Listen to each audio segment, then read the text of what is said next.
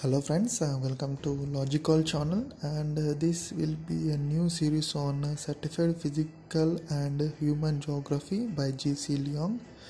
This is a new edition. And uh, go through the important topics that will be covered for the upsc civil upsc civil services first of all get we to the physical geography. It's the most and important for 30% has been asked from this topic and remaining 70% has been asked from the part to weather climate and vegetation. Uh, go through the chapters.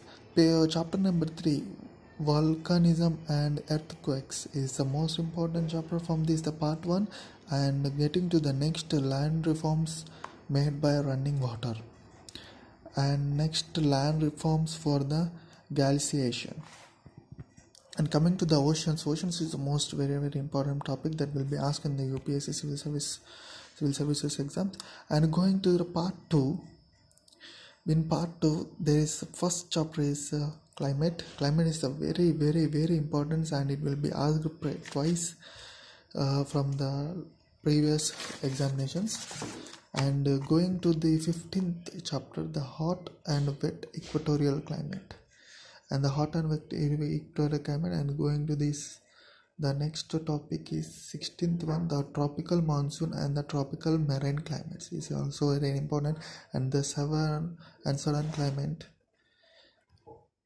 And going to the 21st the warm temperate eastern margin and the time of a climate. Due uh, distribution and climate system is very very important. And the cool cool, cool temperature and continental climate is also very important for the civil service. And go through the book and this is the most important book that will be asked from the every year from the UPSC civil service. And it is a certificate and human geography by GC Leong. And take it for this a new edition. Thank you and go with the go with this book and you will be get the sufficient matter of about physical and human geography. Thank you.